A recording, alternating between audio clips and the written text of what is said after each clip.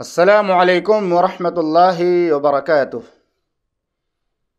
हामिदम व मुसलियन अम्माबाद मुआज़ व मोहतरम नाजरीन व सामीन दीनी और इस्लामी भाइयों हमारे समाज और माशरे में बहुत सारे लोग ये अकीदा रखते हैं कि मरने के बाद रूहें हर जुमेरात को दुनिया में वापस आती हैं तो आज के दर्स में इंशाल्लाह हम इसी बात को कुरान हदीस की रोशनी में समझने की कोशिश करेंगे कि क्या ये बात सही है कि मरने के बाद रूहें हर जुमेरात को या पंद्रह शाबान की रात को दुनिया में वापस आती हैं? इस सवाल के जवाब में अर्ज़ यह है कि कोई भी रूह मरने के बाद दुनिया में वापस ना आती है और ना आ सकती है। इसकी दलील कुरान मजीद के अंदर सूरतुलमिनून में आयत नंबर सौ है, जिसमें अल्लाह रब्बुल आलमीन ने इरशाद फरमाया, वमिन वराइहिम बरज़खुन इला और उन मरने वालों के पीछे बरज़ख है क़यामत के कायम होने तक। यानी जो शख्स भी मर गया, मरने के बाद क़यामत तक उसको उसी बरज़खी ज़िंदगी में रहना है। इसकी दलील सुरयासीन की आयत नंबर इक्यावन और बावन के अंदर मौजूद है। अल्लाह रब्लमी ने इरशाद फरमाया वनुफ़ी खफ़िसूर फ़ैदाहम मिनल अजदास इला रब्बिहिम यंसिलून। कालू या वैलना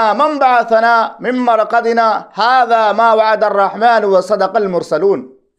क़यामत के दिन जब दूसरी बार सूर में फूंक मारा जाएगा तो तमाम के तमाम लोग अपने कब्रों से ज़िंदा होकर मैदान महशर की तरफ़ दौड़ रहे होंगे। यानी तमाम रूहें ज़िंदा हो जाएँगी और अपनी कब्रों से निकलकर मैदान महशर की तरफ़ दौड़ रही होंगी।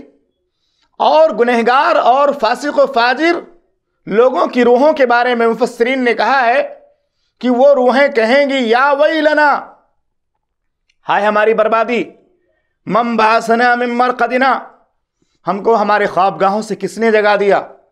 कहा जाएगा, हादा मा वादर रहमान ये वो दिन है जिसका रहमान ने वादा किया था नहीं क़यामत का दिन। और रसूलों ने सच कहा।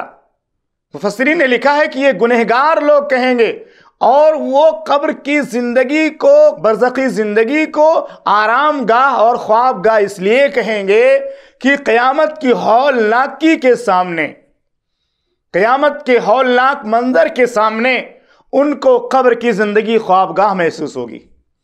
इसके अलावा मोमिनों के बारे में, जन्नती रूहों के बारे में तो बाकायदा सुनन तिरमिज़ी में हदीस मौजूद है। सही हदीस अल्लाह के नबी वसल्लम ने फरमाया, जो फरिश्ते बंदे मोमिन से कब्र में सवालों, जवाब करते हैं और वो सवालों के जवाब में कामयाब हो जाता है तो उसकी कब्र में जन्नत की खिड़की खोल दी जाती है। जन्नत का बिछौना बिछा दिया जाता है, जन्नत के लिबास पहना दिया जाता है और कहा जाता है, नम कनोमतिल अरूस सो जा उस नई नबीली दुल्हन की तरह, जिसे उसके महबूब शोहर के सिवा कोई नहीं जगाता।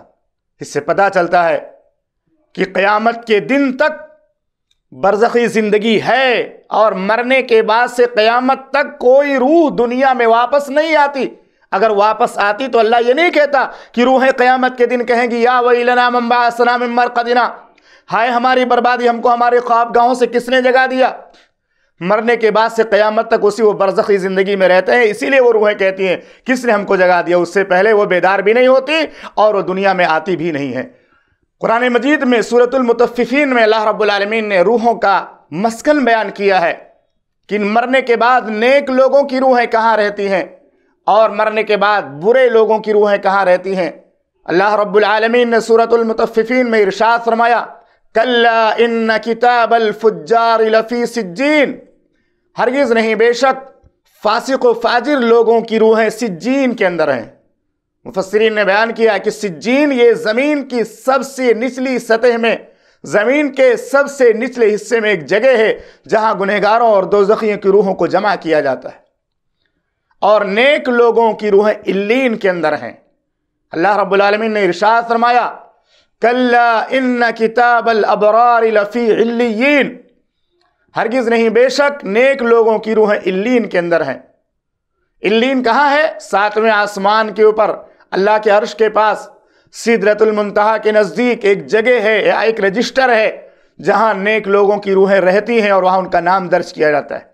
इससे भी पता चलता है कि मरने के बाद नेक लोगों की रूहें इल्लीन में हो जाती हैं और बुरे लोगों की रूहें सिज्जीन में कैद खाने में वापस लौट नहीं सकती दुनिया में।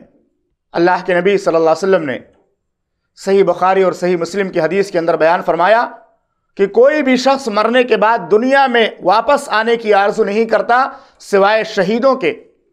जो लोग अल्लाह की राह में शहीद कर दिए जाते हैं, शहादत की वजह से उनको जो दर्जा, मकाम मरतबा मिलता है उसकी वजह से शहदा मरने के बाद ये आरज़ू और तमन्ना करते हैं कि काश उन्हें दुनिया में दोबारा भेज दिया जाए, दोबारा ज़िंदा किया जाए, फिर शहीद किया जाए, फिर ज़िंदा किया जाए, फिर शहीद किया जाए। दस मरतबा वो आरज़ू करते हैं कि काश हमें दस मरतबा इस तरह से ज़िंदा किया जाए और शहीद किया जाए, क्योंकि शहादत की वजह से जो मकाम मरतबा उनको मिलता है, उसकी वजह से वो ऐसी आरज़ू और तमन्ना किया करते हैं। खुलास कलाम ये कि मरने के बाद किसी भी रूह को दुनिया में वापस आने की इजाज़त नहीं दी जाती है और ना वो आ सकती हैं। अगर नेक लोगों की रूह हैं तो बरज़ी ज़िंदगी में अल्लाह की नमतों में है, अपने अमाल के सवाब के अतबार से उनको बरज़ी ज़िंदगी में अल्लाह की नमतें मिल जाती हैं। और अगर बुरे लोगों की रूह हैं तो उनको बरज़ख में अजाब होता है। अल्लाह के अजाब के फरिश्ते उन्हें दुनिया में आने का परमिशन और आने की इजाज़त नहीं दे सकते। अल्लाह से दुआ है कि रब्बुल हम तमाम मुसलमानों को कुरान सुन्नत के मुताबिक अपने अकीदे और ईमान को दुरुस्त करने की तोफ़ी अदा फरमा और ईमान के साथ मौत नसीब फरमा। आमीन। वसल नबी करीम। अल्लाम वरहमल वर्का